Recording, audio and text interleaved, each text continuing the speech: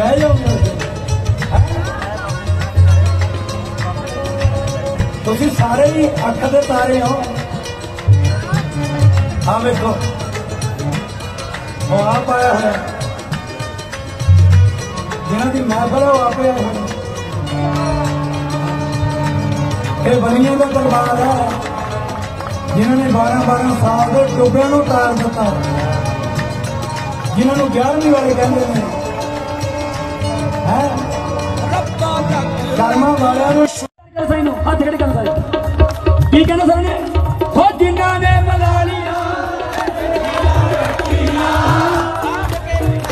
ਬਾਬਾ ਤੈਨੂੰ ਦੇ ਮਲੋਰੀਆਂ ਹਾਜ਼ਰ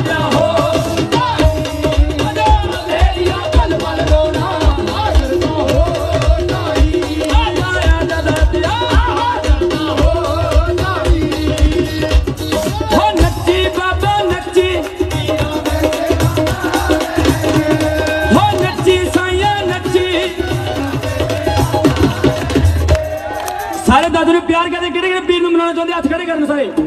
ਉਹਨਾਂ ਨੂੰ ਸੌ